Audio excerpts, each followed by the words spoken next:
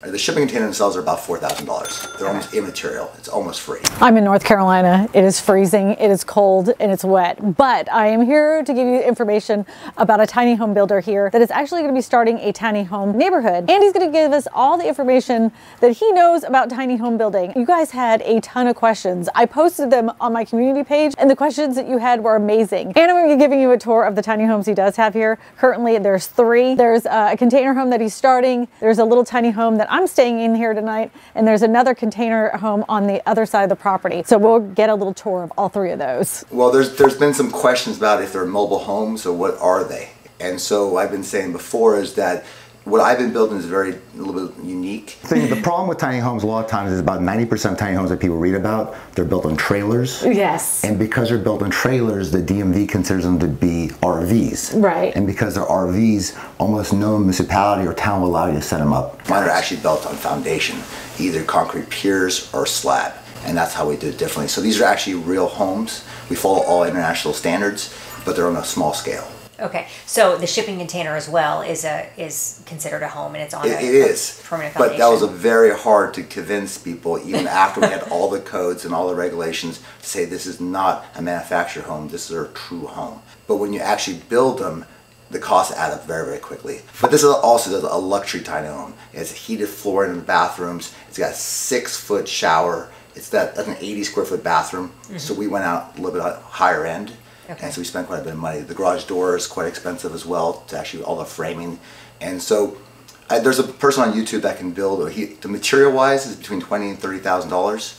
But you're looking at labor about two x of your material cost if you're going to do this with a general contractor. Perspective. I mean, this thing's very energy efficient, and people are running this thing all day during the summer. And you're looking at about sixty dollars a month in energy costs. So how do you handle the humidity and the heat? Because I, you know, I think about a shipping container and it's metal. So how do you keep it from not like burning up inside? Like, how does that work? So again, these are permittable, and these are actually, we follow all state codes. Right. And so you have to have insulation. All right. But normally the issue with basically shipping containers, they're only eight feet wide. Mm-hmm. So when you do conventional style insulation and you do the drywall, you're gonna lose about three or four inches on each side. Okay. So you're now down to seven foot six, which is not a big difference, but it actually makes a huge impact, right? Right. And so we actually did the insulation on the outside instead. Uh-huh. And that changes. So then we're eight feet on the inside, and we did the spraying insulation on the outside, and then we did tin on the outside. Oh, okay. Yeah. No, that makes a lot of sense. Yeah. very efficient. And an example was that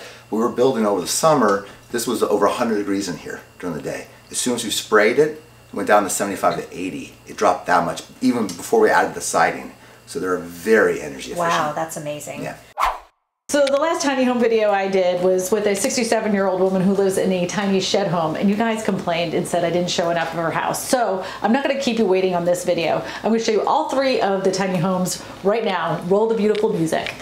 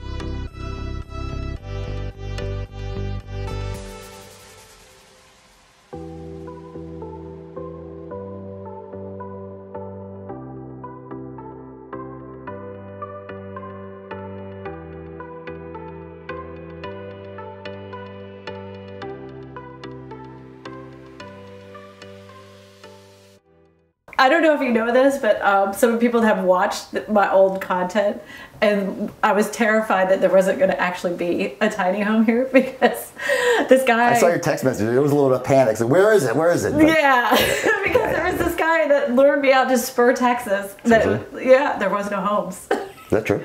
100. Uh, there's the videos on there. Now, I want you to understand that I didn't just haphazardly find this guy and just ask him to go film his homes. Because, as you know, in past videos I've done, there has been people that have claimed they have these tiny home communities and they're full of garbage. So I didn't want that to happen again. So he does have a legitimate website and I checked it all out. And then the homes that he actually has listed are the homes that I saw on the property. A new home that just popped up is this one right here. And it, he just had it delivered today. So I want you to know about that one. And to double make sure of what he was saying and claiming that he was actually going to be starting a community in the North Carolina area, I ended up finding an article. And yes, it is true. Even though this image is a stock image, and I always tell you to be warned of that, he is actually doing a community in the area.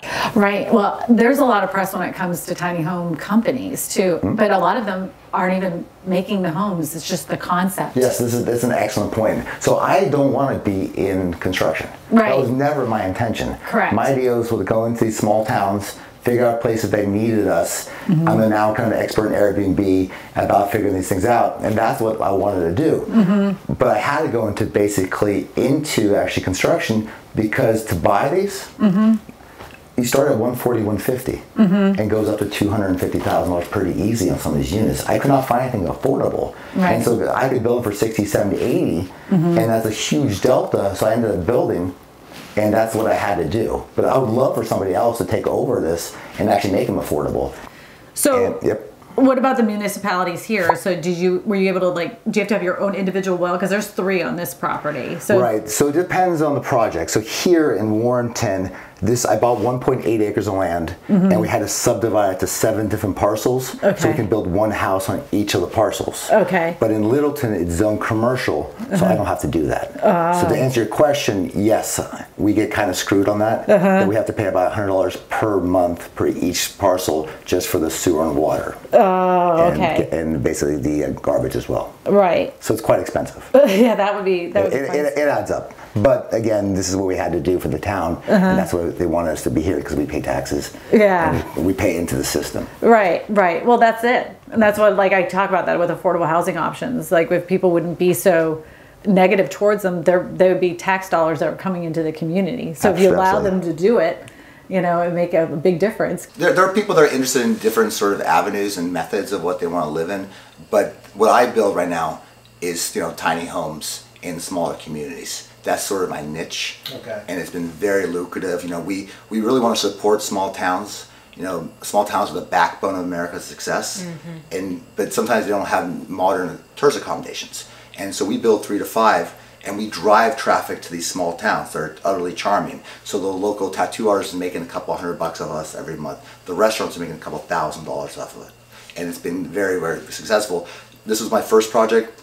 I have a second project and a third project, and now towns across America are starting to contact me about what we're doing because we're really showcasing these towns and what they have to offer. All right, let's get to the subscriber questions because they had some good ones. It says, um, What do most people need to know that most people never talk about when it comes to looking to purchase, build a a tiny home or a container home? It's the zoning. You have to make sure you can actually do it. Yeah. And a lot of people think, hey, I'll just buy this property and I can build. But if again, if it's on a basic trailer, you need a campsite. Right. And there's almost no town in your city is going to allow you to have a campsite in their town.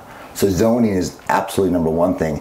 Also, with the planning board, you know, even though the planning board in Warrenton were very, very friendly and mm-hmm. amiable to me, um, it was still basically took over a year to get everything ready to go. So it takes a lot more time than you think. And then the biggest thing is cost. Yeah. It's the bathroom. It's your kitchen that costs money. An empty an empty room doesn't cost a lot of money. You can build an empty room for ten dollars. But when you start adding up the infrastructure, everything else, the cost adds very, very quickly. because the overall project is maybe under $100,000, but you're paying a lot per square footage. Right. And for example, the shipping container themselves are only about $40,000. Oh. But when you actually add up all the cost, the plumbing, the electrical work, the insulation, you're starting to look at 200 to $250 a square foot. So Mm-hmm. it gets very expensive very quickly. Um, is there any uh, significant difference between building an ADU and building a tiny home on a separate piece of land? No, well, I mean, maybe the infrastructure. You know, here we had to bring in everything from the basically the roads. Mm-hmm. We had to bring the power in. We had to bring the water in. And if you already have that in your primary residence, it's going to be a lot cheaper to bring it basically to the ADU. Uh, are you gonna be trans? Are you gonna be making these outside of the state? No, or So yeah, so I'm starting to get quite a bit of interest now because Mm-hmm. um, it's turned out pretty amazing. You know, the, the, the shipping container is absolutely gorgeous. I'm, I'm very very proud of it, and um, and people are start, starting to contact me about ship, drop shipping these things across America. Yeah, so these are shipping containers. They're meant to be on trucks. And so we will start selling these across America and we will start drop shipping these early next year. All right, let's get to another question. Okay. What is the longevity of a tiny home? Um, also, as a person with not much money, maybe five thousand dollar budget, what would be the options to get started? You have to build where no one will ever find you. Yeah. honestly. I mean, of course, you can put up a shipping container, run some cable into it, and make Mm-hmm. it work, but it's not going to be permittable. Um, but that's probably the first way to do it. The, Just um, buy the container first, and then slowly but surely build o- on top of it. It would take might take you a couple of years though. it, it could. I mean, definitely it would take time. The issue, of course, is that it's the stick build is not that expensive. So you're, it's not you're not saving a lot of money with shipping containers when it comes down to it. And I think that you can bring the cost down substantially if you build them in the factories. There are ways to reduce your cost. You still have the infrastructure, regardless of how big the place is. Right. You and that's a misconception. People again think for four thousand dollars I can buy a home, Uh-huh. but it's not going to be like that if you actually get it built correctly. Yeah, agreed. All right, so next question. Can this home, any of these homes, sustain uh, snow or hurricane winds? Um, what needs to be done to the land to prep for the building? And what areas do you serve other than North Carolina? So right now I'm serving just North Carolina, but um, this is made for snow. I mean, it is built, but it's not. It's not made for hurricanes, Mm-hmm. Right. Because we're not by the coast, Right. We have to do a little bit additional, basically, um, structural integrity for that. Yeah, and when it comes to manufactured homes, they have like zone one, zone two, Yes. and zone three, and that's what you'd have to have your Exactly. So if you're building it yes. yourself, that's what you Yes. have to put in consideration. E- exactly. yeah. Could you stack one shipping container on top of another? You can definitely do that. You- Yeah. You, can't do that, but again, that's a different cost, and that's not my expertise at this moment. It will be Really. though. It- it- it- it- could be. I mean, Olivia Stratton says, I'd like to ask him about the moisture issues. In a lot of container homes I've experienced, there's been some moisture issues. Can it be solved or would this always be a risk? No, so this has been solved. So we're actually doing spray and insulation. Okay. It's extremely robust, two inches. It's an incredible base insulation. And it was interesting when we were building the one tiny home before, it was about um, 100 degrees in there during the summer. Mm-hmm. And then we sprayed it and we still hadn't put in the siding on there and it dropped down to 75 to 80 degrees. Oh, wow. Yeah, so the moisture is completely taken out of it. So spray foam it is. yeah, absolutely. Wow. Absolutely. Taryn said, how would you approach a building a tiny home for under 20,000? It'd have to be really tiny. You have to be really tiny. And I think I think the rule is that to build actually a house that you can live in, I think the very smallest I think is 150 square feet. Yeah. It's the very smallest, mm-hmm. and you have to build on your own. Most cities allow you to build your own primary residence uh-huh. if it's under thirty thousand dollars. That's how it usually works. So hypothetically, if you buy your own material and you didn't rent it out, uh-huh. you could probably pull it off. Do you know how they really do that though? This is how they really mess it up. Okay. They'll tell you that it has to be built for under 30,000, but it has to be over 600 square feet. Is that what it is? Yeah. Okay. So it, it's 500 or 600 Yeah. square feet. good luck with that. Yeah. Good luck with that, especially Yeah. with material costs Yeah, today. yeah. Uh, Michael Jolly said, I'd like to know how to start with one module, then buy others dedi- uh, dedicated to. Can you add modules to your container homes? Like, could you add more to it once it's built, or that would Uh, no, I be? mean, you absolutely. I mean, you could. I mean, it's like any addition to any house. Right. You can always add. I mean, it'd be probably good that you start thinking about that before you build, so Mm-hmm. you're going to make your life easier. But you could always add as long as again it's you're, you're following codes. Right. It's not an issue. You need to start a. Do you are you on TikTok or anything like that? Not really. Do you on Instagram? I, I have Instagram.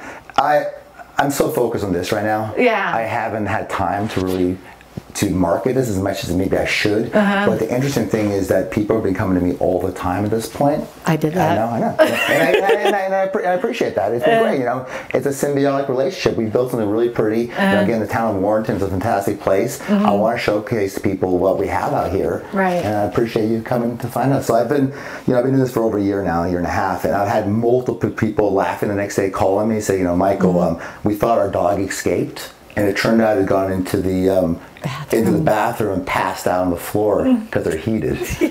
Good on them. Yeah, I know. Good for them. they, really, they really are nice, and that's I think that's a, a, a prime example of what we figured out later on is that their small touches, perception-wise, are very luxurious, but don't cost a lot of money. So that floor there is about a thousand dollars worth of labor and material. Thousand dollars for a heated floor, and it makes all the difference in the world. Yeah, well, that's really good for Airbnb too. Those People extra touches Yes, yes. will get you better reviews. Better reviews get you more business. Exactly. So if I you're totally thinking about doing that for, But that, that's something I, I highly recommend everyone does. Maybe not Hawaii, but anywhere else, heated floor, it's, it's fantastic. probably won't need that Louisiana but twice a Yeah, year. exactly. But you, you'd be surprised. No, I know. I lived there. Yeah. It was 20 degrees when I left. Yeah. it was. Oh, is that right? Yeah. Oh wow. Yeah. Um, Yeah. Is there any special aspects of building um, an electrical co- codes that pertain to container homes? Absolutely not. This Okay. is this is a house. Okay. We follow all codes just on a much smaller scale. So there's no difference for us. Okay. If you're doing it again maybe on a trailer, there's probably some sort of rules that I'm not aware of. Right. But I imagine there are some. Right. But for us, exactly the same as anybody else. Okay, gotcha. Is there an IDC listing required?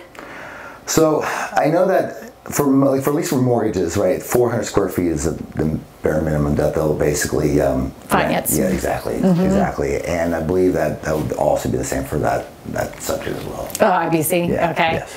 Is there any uh, foundational requirements? Do you have to have it on a specific foundation, or is that that depends on your state, correct? It has, yeah, it has to be with local ordinances, and all that. Right. Be it slab or um, you know, concrete piers. I Right. Like the concrete piers. I like the look of it, and it kind of exposes everything because things don't get that cold in North Carolina in general. Uh-huh. You can expose kind of your basically your plumbing to a certain degree. But we did learn the hard way last week. It was Mm-hmm. 60 degrees, and so we had some issues. So it just kind of depends. But it has to be on some sort of foundation. Yeah. So you got all your questions answered from a tiny home builder. Now that you have, are you going to be building your own tiny home? Are you going to be doing your own Airbnb tiny homes? Are you going to be building one for yourself? Let me know in the comment section below. To watch some more videos about tiny homes, my friend Ellen Pitts did one and she's actually here with me and she's to be answering all the specific questions about tiny homes in South Carolina. So you're going to watch this video right here.